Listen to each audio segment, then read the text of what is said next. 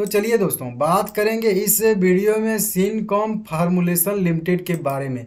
बहुत ही फ़ेमस पैनी स्टॉक है, बहुत लोग इसमें इन्वेस्ट करते हैं।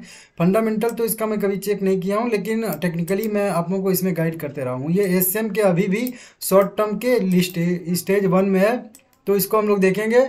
कि ये कब बाहर आएगा, इसका मैं आप लोगों को व्यू देने वाला हूँ, ठीक है ना?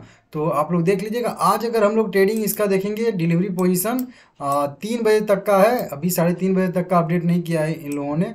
सैंतालीस, अड़तालीस लाख इक्विटी शेयर ट्रेड हुआ है आज के डेट में, जिसमें से अगर देखेंगे तो इकतीस लाख इक्विटी शेयर डिलीवरी में उठाया गया है। परसेंटेज इसका बहुत अच्छा निकल के आ रहा है, चौंसठ परसेंट डिलीवरी परसेंटेज निकल के सामने आ रहा है, जो कि बहुत अच्छा है, ठीक है ना? तो इसको देख लीजिएगा आप लोग।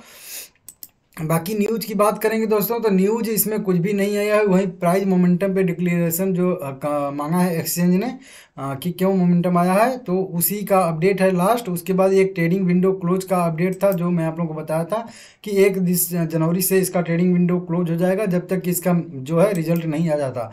तो ये दो तीन अपडेट था उसके बाद कोई अपडेट इसमें नहीं है। सीधा सा हम लोग चलेंगे यहाँ पे अपने वेबसाइट पे और यहाँ पे देख लेंगे कि कब ये जो है एस एम लिट से बाहर आएगा। इसका अगर मैं आप लोगों को शॉर्ट नाल से दिखाऊँ तो आठ स्ट्रेंथ दिखने के लिए मिल रही है, एक वीकनेस सात अपॉर्चुनिटी देखने के लिए मिल रही है। ये सब इसका जो है सारा स्कोर यहाँ पे आप लोगों को दिख जाएगा। अब सीधा सा चलिए मैं एस एम लिस्ट ओपन करता हूँ। एस एम लिस्ट में ये कब गया था? Syncom formulation S M list में कब गया था? उसका यहाँ पे डिटेल आप लोगों को मिल जाएगा। अभी करंट लेवल पे देखेंगे तो शॉर्ट टर्म के एस एम लिस्ट वन में है। अब ये गया था कब? तो देखिए, तेईस में कई बार ये गया है। तेईस में इसके नीचे का ये बाईस का डाटा है, देखिए बाईस का, ये इक्कीस का। लेकिन अभी तेईस में तीन बार गया है ये तीसरी बार कह लेंगे गया है। देखिए, पहली बार गया था ये शॉर्ट टर्म के स्टेज वन में, दस अप्रैल को गया था, ठीक है ना? तो देखिए, यहाँ पे जो सबसे पहले तेईस में गया था ना, वो दस अप्रैल को गया था। दस अप्रैल को गया तो आठ दिन के बाद, दस अप्रैल, उन्नीस अप्रैल, आठ दिन के बाद जो है रिमूव हो गया था। उसके बाद फिर नवंबर में गया था चौबीस नवंबर को।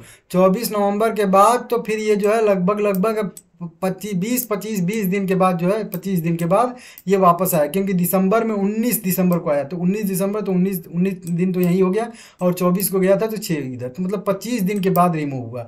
अब फिर से जो गया है रिसेंट में ना, वो जो है, गया है अट्ठाईस दिसंबर को। देखिए, उन्नीस दिसंबर को निकला, उसके बाद फिर से जो है अट्ठाईस दिसंबर को शॉर्ट टर्म के एसएम स्टेज वन में घुस गया, ठीक है ना, और एड कर दिया गया। अब ये कब निकलेगा? तो आज से जो 28 तारीख से छठवां ट्रेडिंग सेशन जो रहेगा ना, इसके लिए रिव्यू का पीरियड रहेगा। उस दिन बाहर निकल जाएगा, ये कोई ज़रूरी नहीं, छठवां दिन।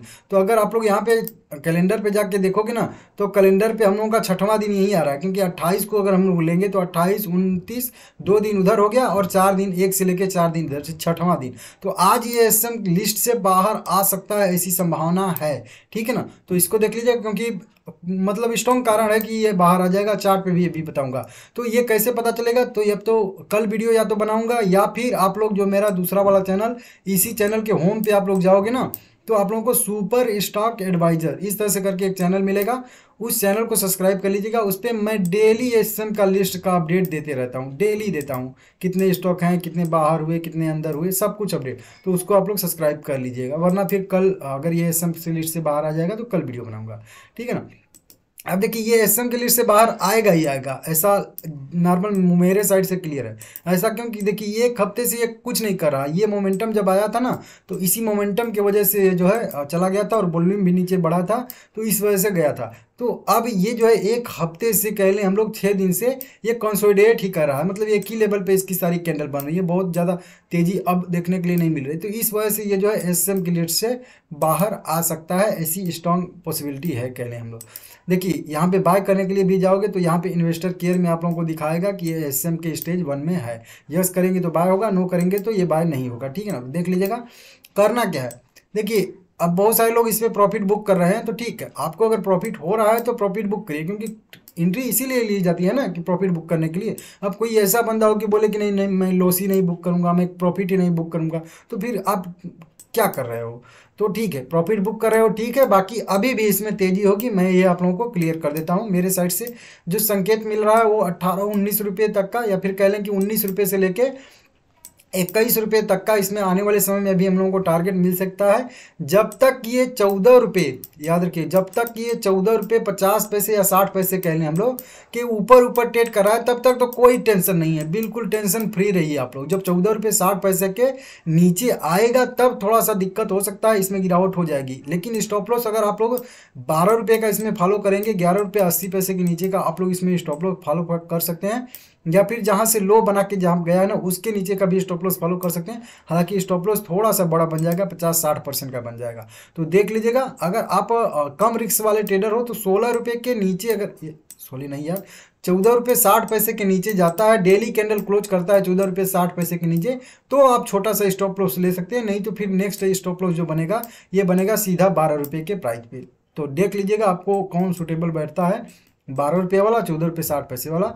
टारगेट अभी भी ये देगा, उन्नीस रुपये से लेके इक्कीस रुपये तक का। तो देख लीजिएगा, आगे भी गाइड करते रहूँगा। सभी लोगों से निवेदन है चैनल को सब्सक्राइब कर लीजिएगा और वीडियो को लाइक कर दीजिएगा। बेल आइकन को भी आल पे सेट कर दीजिएगा। चलिए मिलते हैं अगले वीडियो में।